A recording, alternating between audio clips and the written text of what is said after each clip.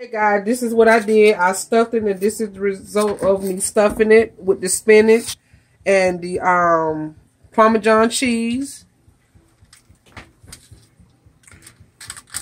And it looked real nice, guys. And what I did to the fish, I basted with olive oil, extra virgin organic olive oil.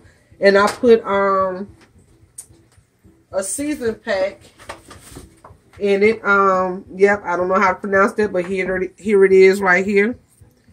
And you just mix it in the olive oil, you know, stir the olive oil and this up together, and just base it on the fish. And whatever you have left in the bowl, take your napkin and dab it in there and just wipe it on the fish. You know, kind of give it a little bit more moisture so it don't dry out when you put it in the oven. And I also cut up me some onions and garlic Anybody who know me love know that I love garlic and onion on all just about all my dishes. So um this is my first time doing it. I didn't see it on um, YouTube or anywhere, so I said, hey, this was for my dinner. So I said, let me make it a try. Let me um, do a try of this. So I'm going to sprinkle me some onions on here. And you just do it like that. While you sprinkle, you know, you just kind of break it up a little bit. You know, onion give flavor, flavor, flavor to your food. It really does. Onion's good for you.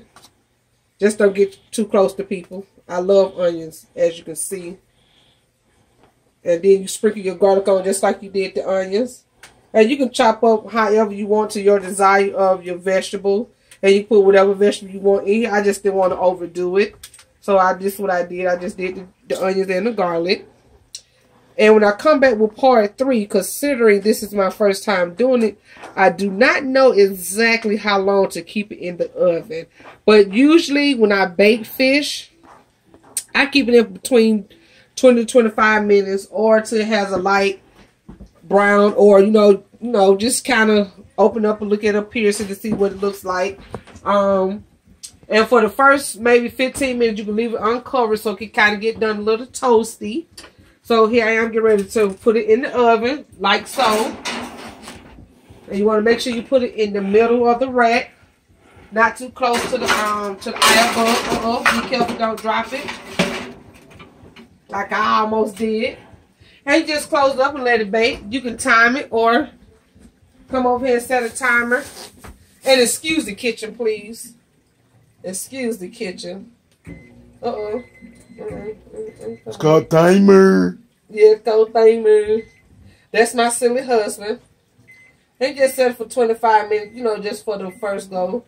Then if it don't appears to be done to you, to your liking, just leave it in for another 10 minutes, and after 10 minutes should be done. And I will see you guys on the third take.